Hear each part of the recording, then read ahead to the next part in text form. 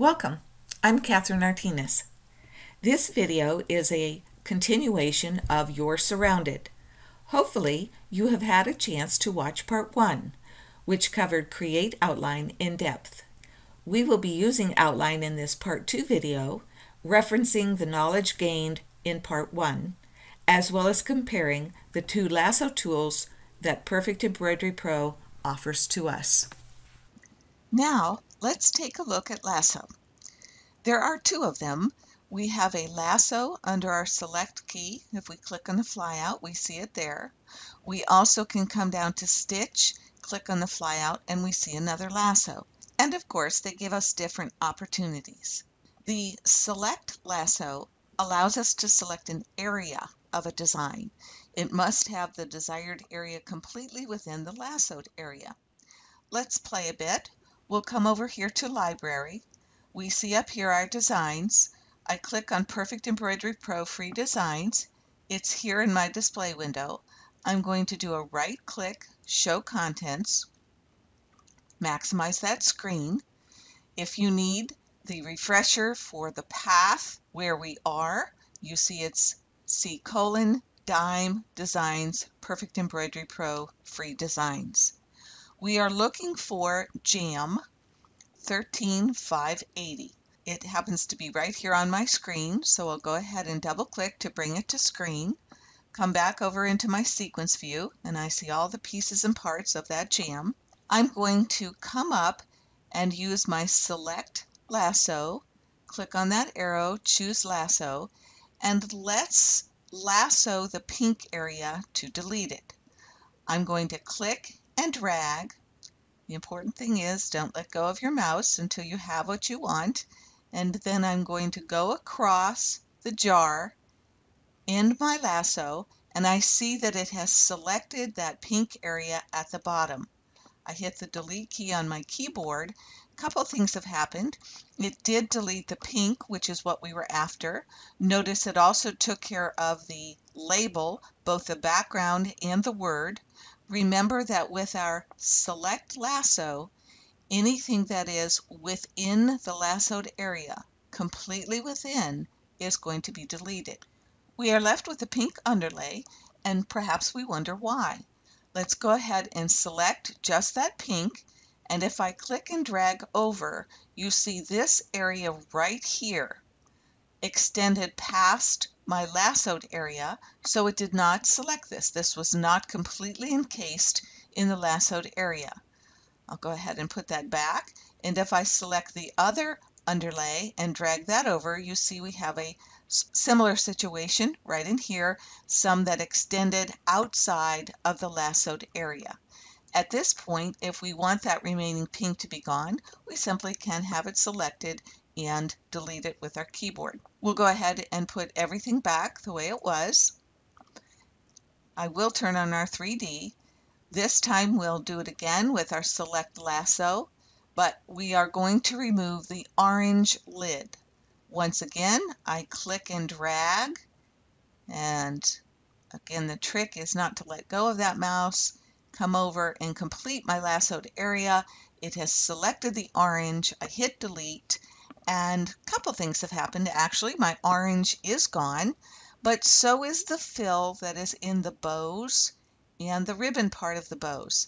Remember, it is going to delete everything within that selected area. These two were totally encased, the middle of the button, the ribbon, but the area of the actual streamers of the ribbon not encased in our lassoed area, so those are still present. You notice to the green. We might have thought that the green was also within our lassoed area, but if we select that, and actually I'm going to choose all of the green and drag over, you see that we have some running stitch down to the label area that was not in the lassoed area, so once again that is not deleted. We'll do an undo and put everything back the way it was. Let's try another. We'll go back into our Perfect Embroidery Pro. I'll select that. The item that we want is the butterfly. Again, happens to be right here in front of us on screen, so we'll double click to bring that to screen. I will use my 3D and we'll come up here to select lasso again.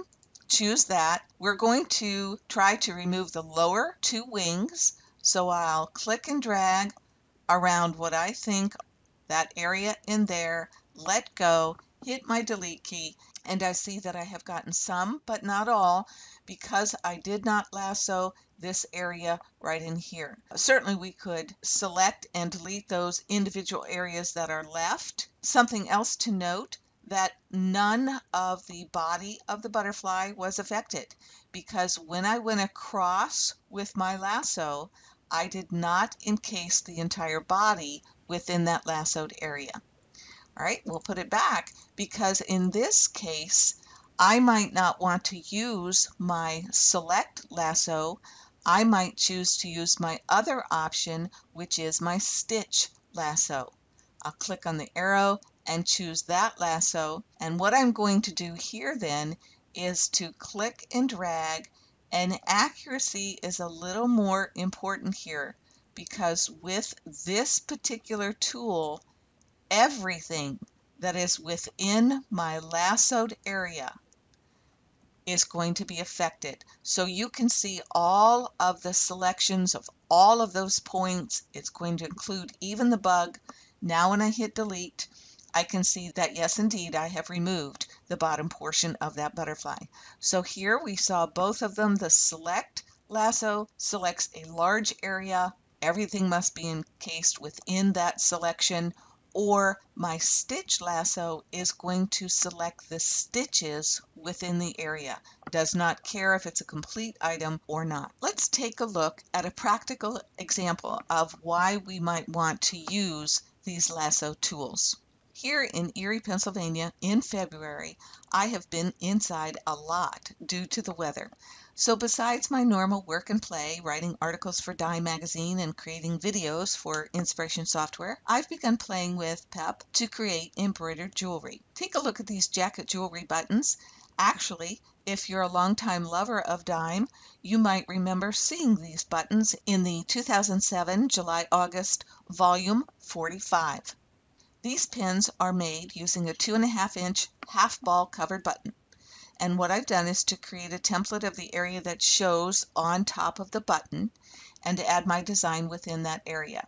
If we come back to PEP, we can see that I have this design already open and this design is artwork. I can come over here and see that it is. I do not want this to stitch. It's very similar to our spacer when we were doing our keychains. I've also created a document that has both the circle for the top representing what will actually show on the top of the button. That's the inner circle artwork. And then I've included an outside cut line. You can't just cut out a two and a half inch circle because you need extra fabric to wrap to the back of the button to secure on the teeth. So I've created this cut line over 3.3 quarter inch so I know how much fabric is needed for each button. And in this case, this particular circle is run because I do want that to stitch. Let's go back into our free designs from PEP. The design that I'd like to play with at this point is 41192. That search isolates it for me very easily. I bring it to screen and I'm going to now do a file merge, merge my circle button that I know that represents the top of that button and I can see that this design fits perfectly. I would go ahead and make any changes that I wanted. Perhaps I want to change that blue color to maybe a red.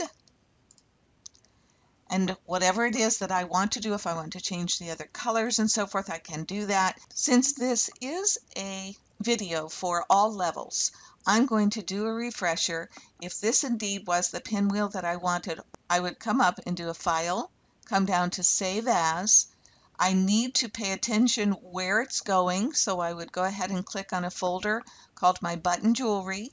Perhaps if I want to keep the pinwheel number, I can add to that and say button top or button. I am saving it as a C2S file in this first procedure. You want to do this. This allows me to create a native file or a working file that I can come back in anytime I want to and make changes to this design. To finish this process, if I really was ready to go ahead and stitch this out on my machine, I would go back under File, again do a Save As.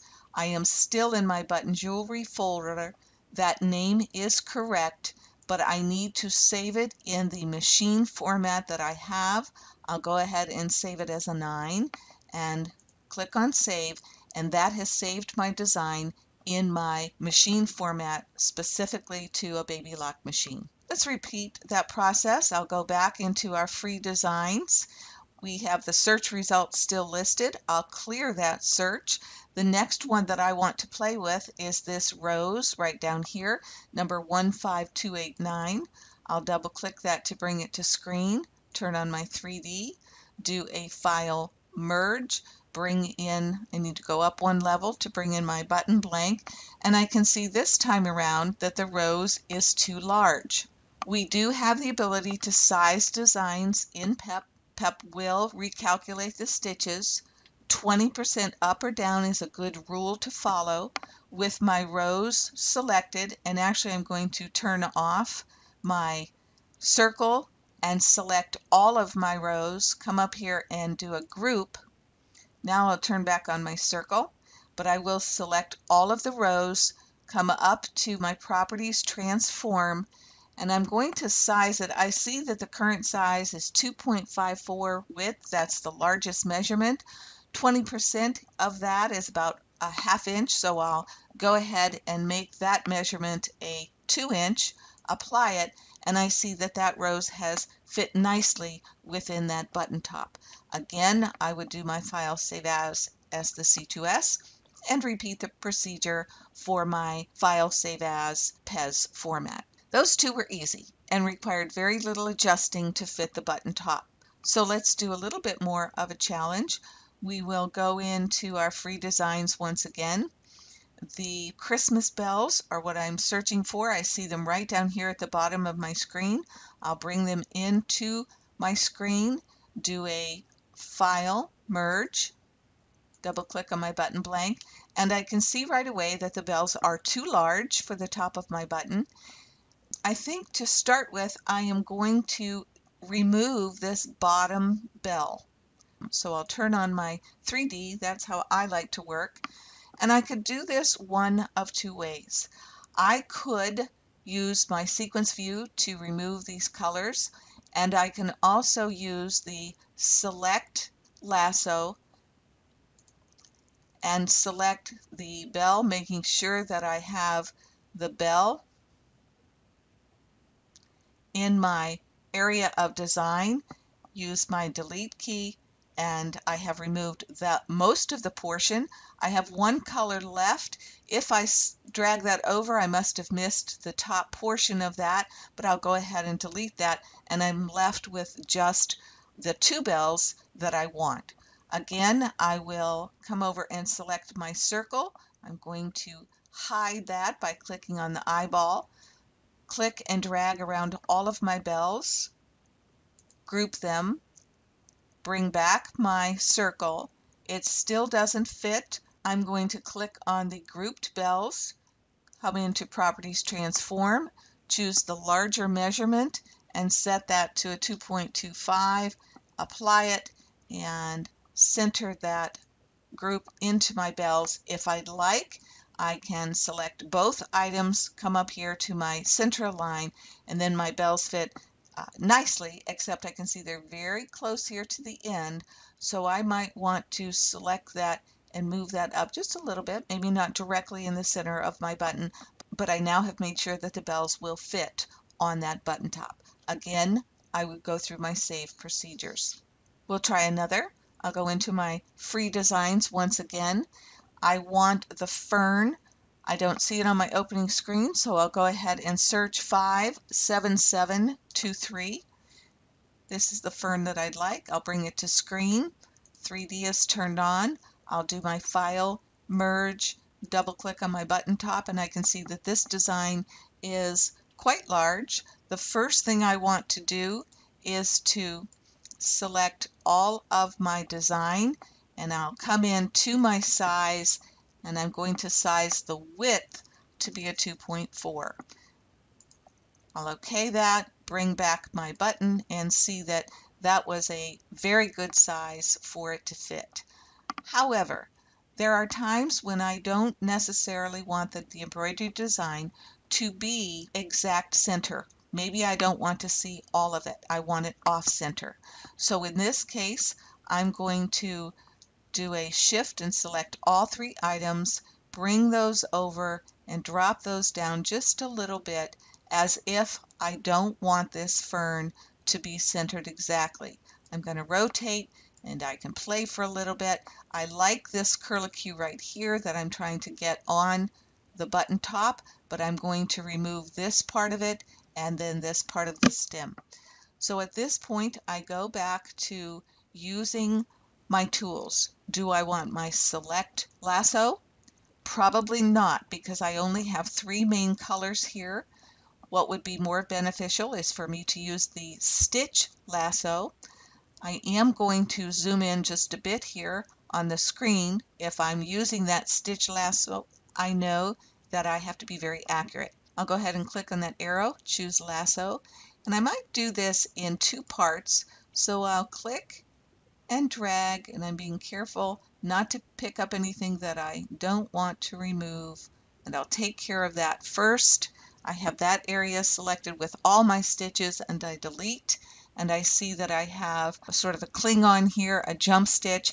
I can even zoom in further and I can use just my stitch points and delete those individual stitch points. I can delete this one and that one and here I'm just using my delete on my keyboard until those stitches are gone. If I need to scroll up at the top and see what I've left over here, do my manipulations, I have a point all the way at the top and if I delete that one and keep deleting, I see that I've taken care of that Klingon situation. I have one little point up here that's sticking out. This is very real. So let's go and once again get our stitch tool that allows us to work with the individual stitches. It's different than the point tool and I can either right click and delete or I could have deleted off the keyboard. These other stitches are going to be under the satin stitch so I don't need to worry about those as much. But I do want to come over to my screen and set myself up so that I can do my lasso and remove these particular stitches. Again, I'm going to use the stitch lasso. I need to work with the individual stitches rather than the area. So I will start up here. I am going slowly around the parts that I want to keep. This black line is helping me realize the part of the button. I'm going to go straight across and I come back up here being careful at this tip making sure that my lasso does take all of those points inside. I hit my delete key and I'm left with these stitches right here.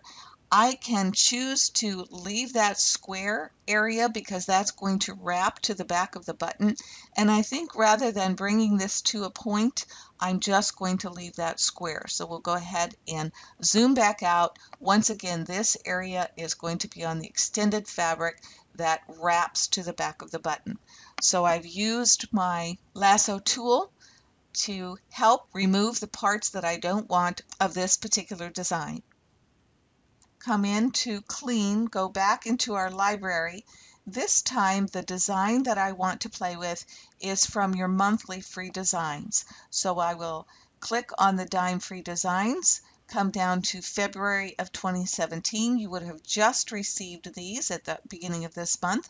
I'll scroll down until I find this cute little bunny and click and drag and drop her right in the middle of the screen.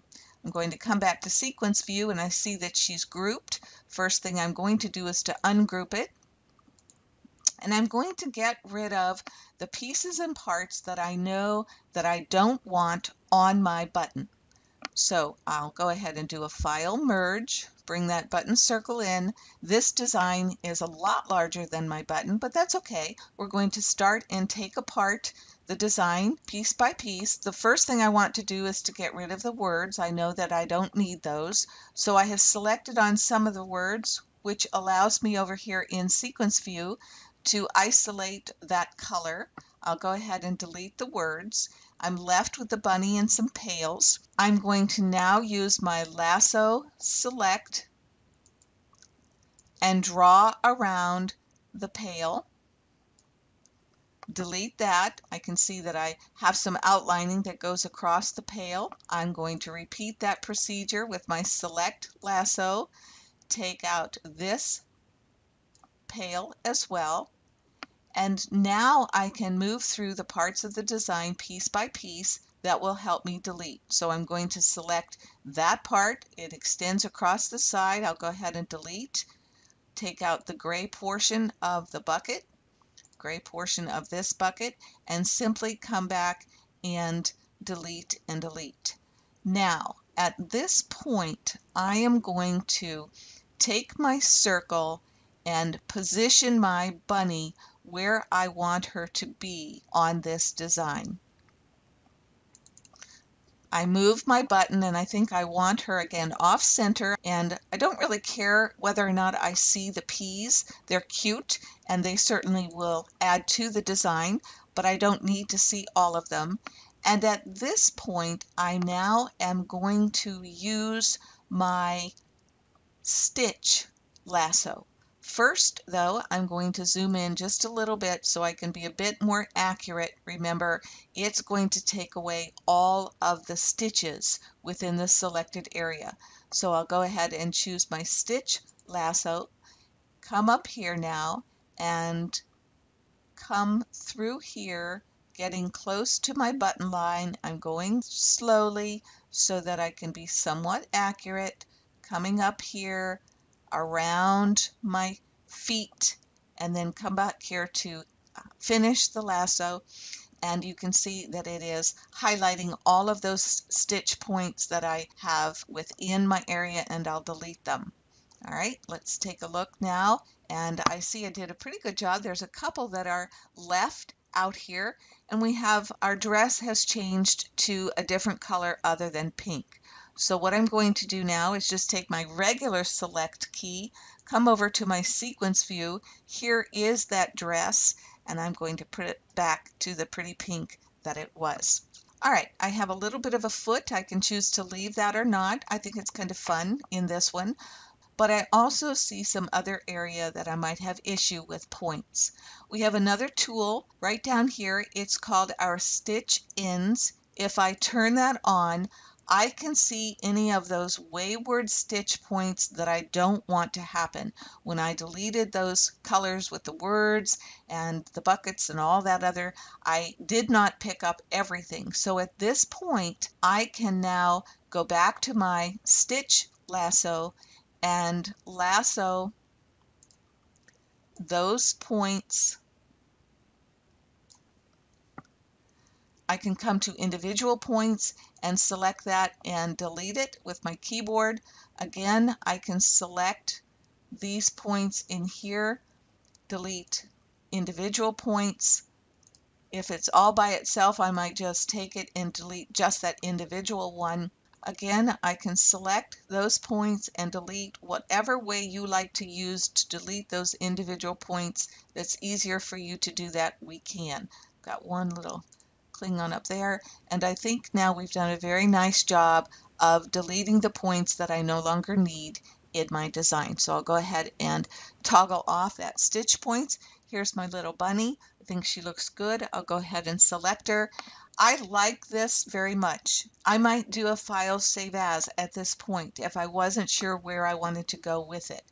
However, depending on the fabric that I choose, this might be a little plain for my background. So let's now combine the other tool that we used earlier, our Create Outline, and do some fun things with this background.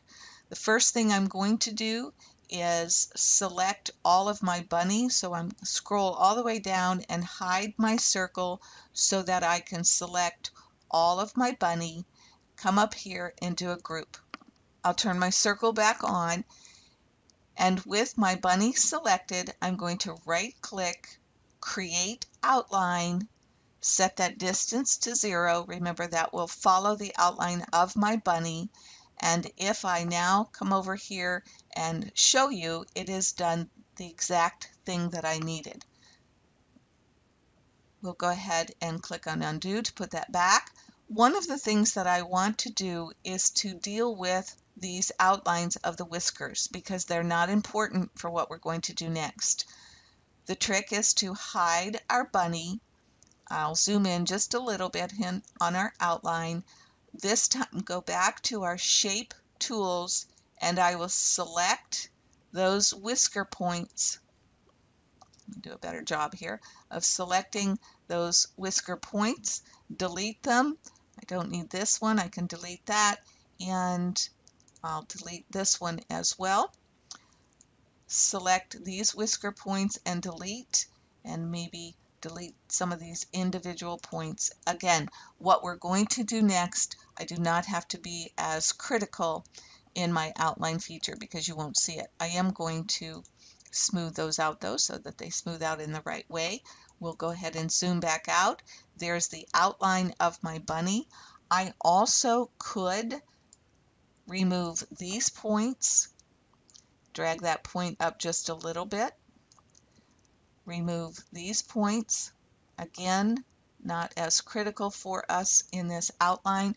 And I've adjusted the outline to what I'd like it to be. Let's bring back our bunny so that we see everything. If you notice these little bit of humps here up in the ears, not important because what we're going to do now, first of all, I need to ungroup my circle. It's really just the circle, but it comes in grouped when I did a merge. And I see that that is artwork. I do an expand for my bunny outline and I see that that is artwork. I'm going to select both of these and then come up to our combine. Remember we did this with the puffin. I'll click on combine. Now it makes this background all of one unit and I can do a right click, convert to complex fill. I certainly don't like the black, so I'm going to put on a pretty color green. I don't want it to be a fill. If you see that's kind of heavy on the front of my button, I'll come over to my standard, use the drop down. I want to come down to advanced stippling, use my drop down arrow, and I want a double oval. Apply that, and I have a very nice soft background for my bunny and the top of my jacket jewelry button. All right, let's try another one. We're going to go back into our free designs for PEP. Remember the last search is still there. I'll go ahead and close that search. The design that I want this time is 85029. So I'll let that search find it for me. Bring it in as a double click. Let's zoom out just a little bit here and you can see that I have this Kiss Me I'm Irish. This is a free design for you we'll go ahead and group all of that to start with. Bring in my file merge, bring in my button top. I know that that Kiss Me is too large, so I'll come in to my transform and I'm going to size that to a 2 inch, apply, that fits within my design. I will do a right click, create outline, set the distance to zero, and OK it. And look what we have here. When I do that kind of outline, I really have a lot of ins and outs and too many small places for this to be appropriate. So let's remove that outline. Do my words once again. I'm going to right click, create outline, set that distance to a 0.1 then do an OK, and that is much better for our needs. All right, once again, I'm going to ungroup my circle, choose the artwork for the circle, choose the artwork for the outline, do a combine, right click, convert to complex fill.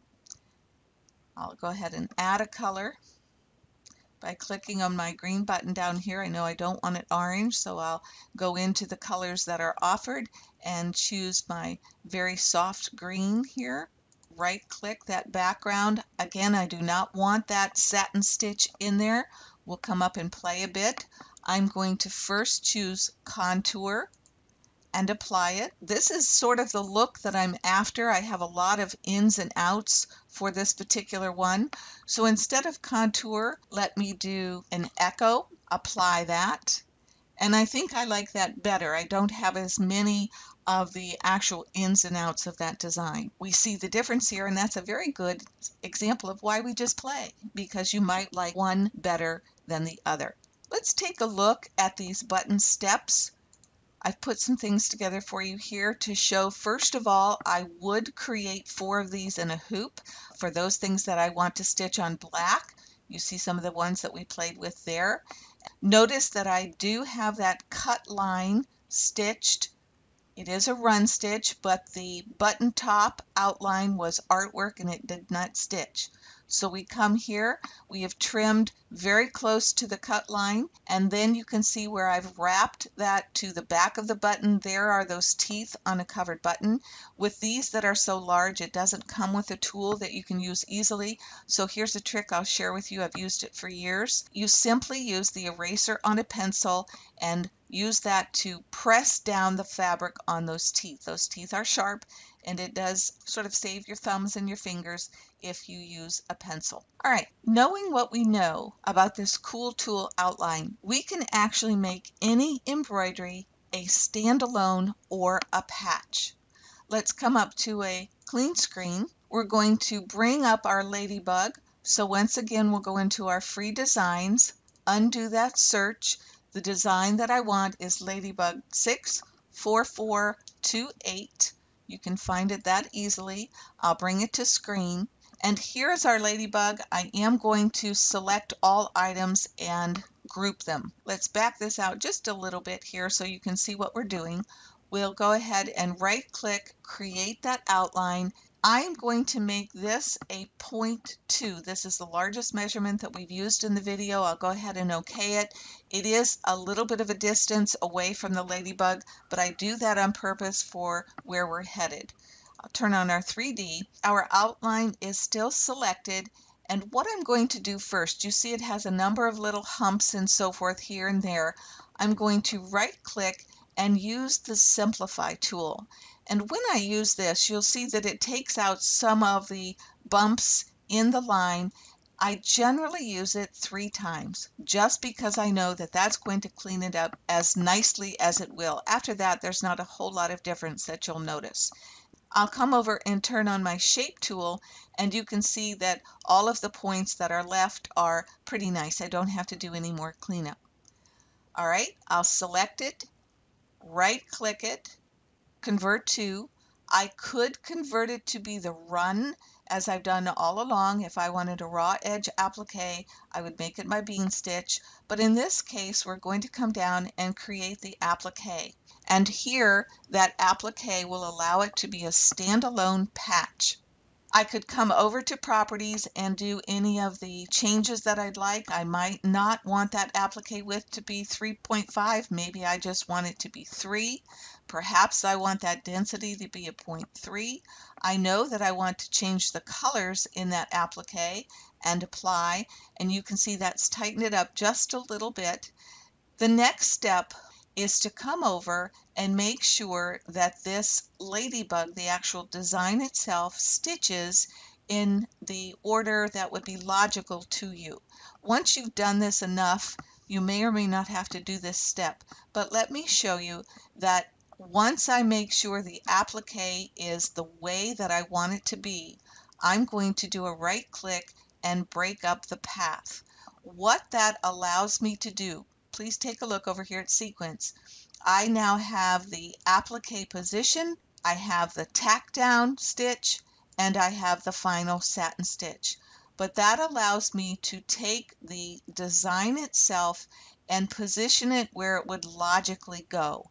For example, I have put it between the tack down stitch and the final satin stitch to allow the design to stitch and then I would remove the hoop with everything still in it, trim around my tack down and put it back to complete the satin stitch. If I take a look at slow redraw, we see what we have, that yes, there is the placement stitch, the tack down stitch, the design itself of the ladybug, And then at that point, I would remove the hoop from the machine, trim around the outside tack down stitch, return it to the machine, and complete the pretty satin stitch. All right, let's try one more.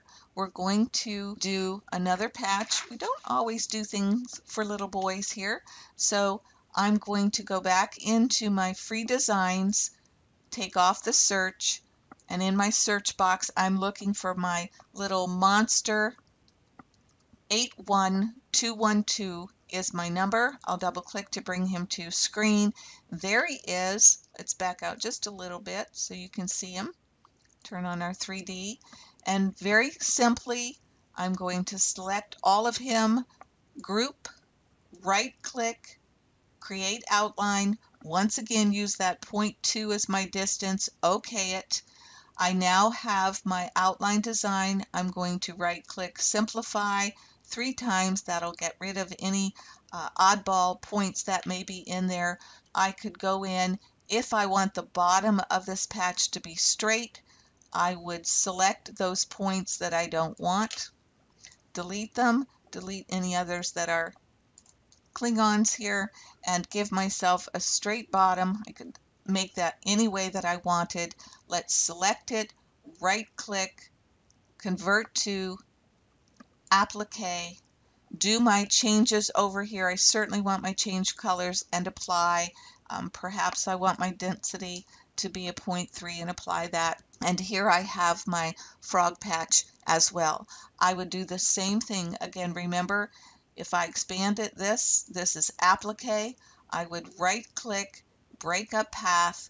That allows me to take the frog itself, the monster, position it where I want it in the order so that it would allow me the placement, the tack down, the design itself. I now can trim and then I would finish with my outline stitch.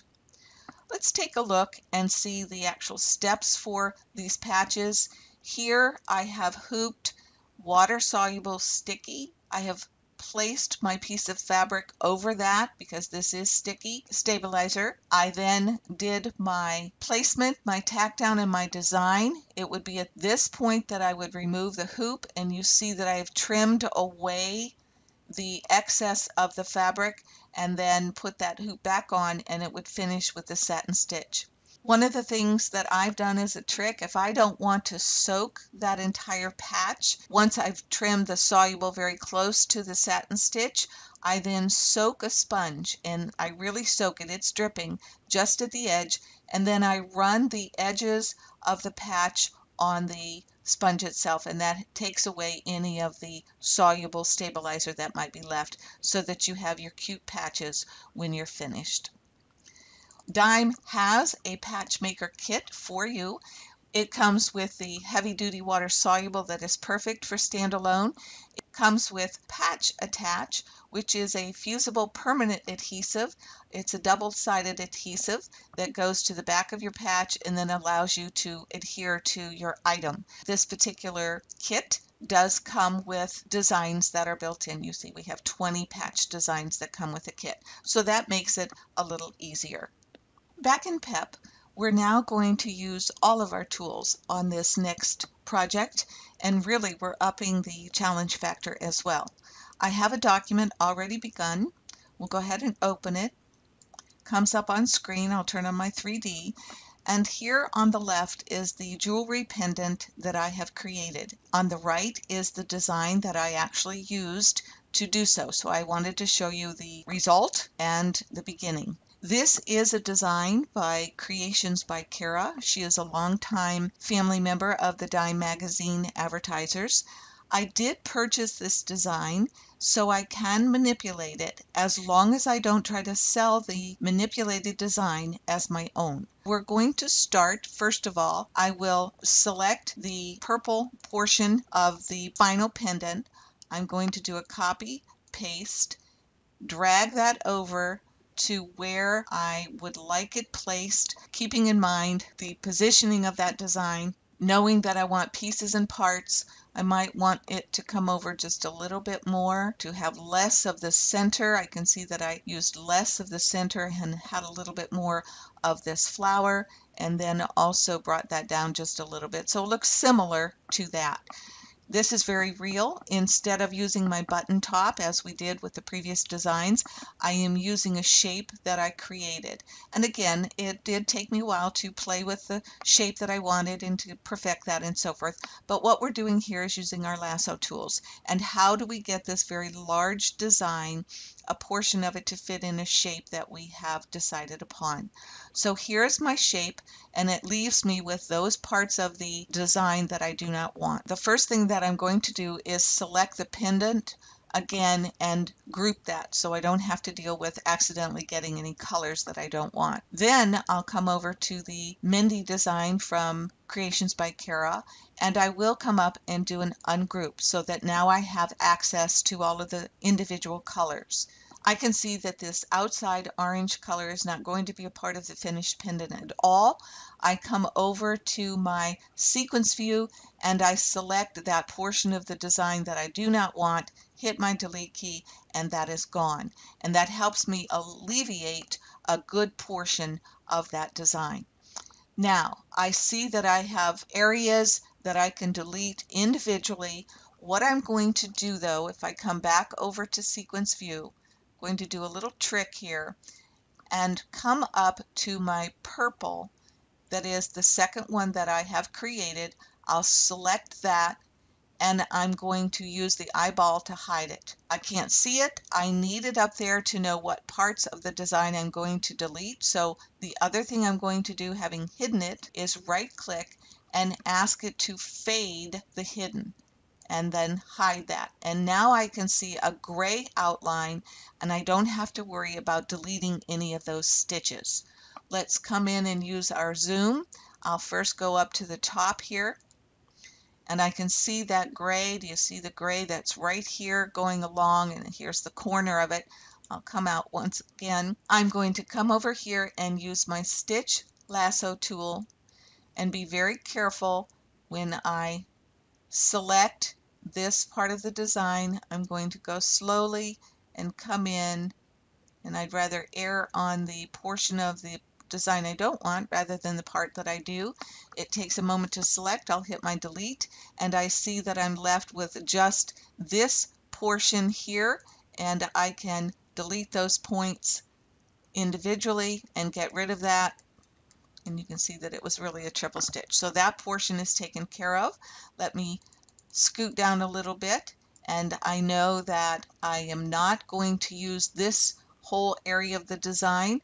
So I'm going to drop us back just a little bit. Maybe the 200 will work if I can get all portion of that design in one screen. So again, I'm going to take my stitch lasso tool and come in and delete the portion that I don't want selected and deleted. Okay, I do have a portion of this gray and purple, but I'll come back to that. What I'm doing is taking care of the big portions that I know that aren't going to be a part of my design. And again, my stitch lasso tool, select that, and watching where my gray is, I'm going to go across the gray and down to select that area. And again, if you're more comfortable, you could do two portions of it at a time. I'll get my tool again, go in, and you can see that gray area. I'm going to go down, select that portion, looking pretty good here. Coming up, I see that gray portion of my hidden shape. Once again, my stitch lasso tool and I'm going to try and stay within that gray area knowing full well that I can come back and take care of any stragglers that I have. And again this gray area here. Once again my tool. And I'm going to try and stay within that gray area. You get better at this. Get a little more stable as you play. And I'll delete that and that looks pretty good. So at this point I would want to really zoom in. I see some area up here I need to take care of. Get my tool, come in here in the gray, delete that. and I want to get a little closer to this area right in here. You notice that when I was deleting, I deleted the things that were under the gray. This is my satin stitch for my pendant, and I know that those won't show because that satin stitch is the last thing to stitch. But I do want to take care of a little bit more of this area. I can see that it's very close to the gray. So again, I'll get that lasso tool, come in, and stay within the gray, sort of in the middle of that gray, and then select those and delete. Remember, if you need to take care of one point at a time, you can select that point and delete stitch by stitch. Like that, I could use the delete on my keyboard. Now I'm going to scroll down around in the gray area. These are very close to the edge, so I might want to lasso those away as well. Should have grabbed that bottom point here, maybe just a little bit. You can also click on that point and drag it over. If you don't want to delete it, if you don't want to create any kind of tie off, you simply can grab one of those points and move it over. That looks pretty good, although this is kind of close. So again, get my lasso tool and select that right through the middle, drag that around and delete. And I'm just going to check the perimeter. If I have a situation like this where my stitches are going to end too soon, I can take that stitch and drag it down just a little bit and shape it remember that that's going to be covered in that satin stitch. I love this ability to fade. If I need to do the reverse of that, I simply just take that point and move it up a bit. So here, not only are we using our outline and lasso tools, we're using our stitches tool as well. That all looks real good because it's within my gray shade and I'm checking this area here. Now we'll go back up top, looking all of those points look good within all covered in that satin. Let me see what these long stitches are doing. Again, that's okay because they're all under the satin stitch. And checking in my corner, again, that looks pretty good. I could even bring that up under that corner and this looks nice as well going across the top. So at this point I'm happy. I'll go ahead and zoom out.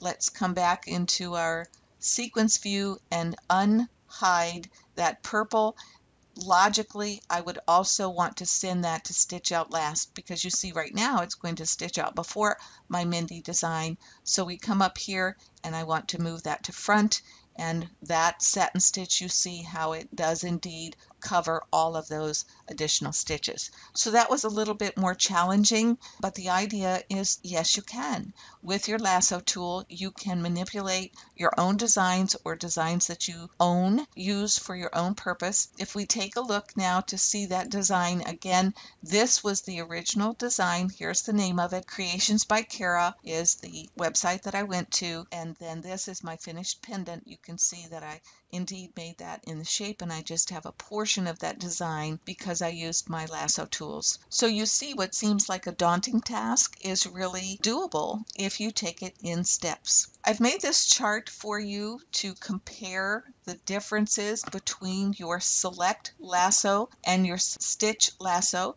You can see where they're located on your toolbar and what they do. Remember that the select lasso, the parts have to be completely encased within your lassoed area for you to remove them. Whereas if you use your stitch lasso, you can click and drag and all of the points that are within that lassoed area will be deleted. You have your shape tool that offers you the points that are allowed then to be edited and you have your stitch tool which shows for you all of the stitch points recommended that you have your stitch ends tool on so you can see them and it's a very easy way for you to delete specific points. I'm a firm believer that once you understand how a tool works you can then use it to do many different things and that was my goal for this video to help you understand the outline tool and the differences between select lasso and stitch lasso also when to use that shape tool and when to use the stitch ends tool. As a plus, you also have some new projects that you can complete. The personalized keychain using the symbols as charmers, the jacket jewelry covered buttons, standalone patches. Surround yourself with outlines, lassos, and all things Perfect Embroidery Pro. Thanks for joining me. Enjoy.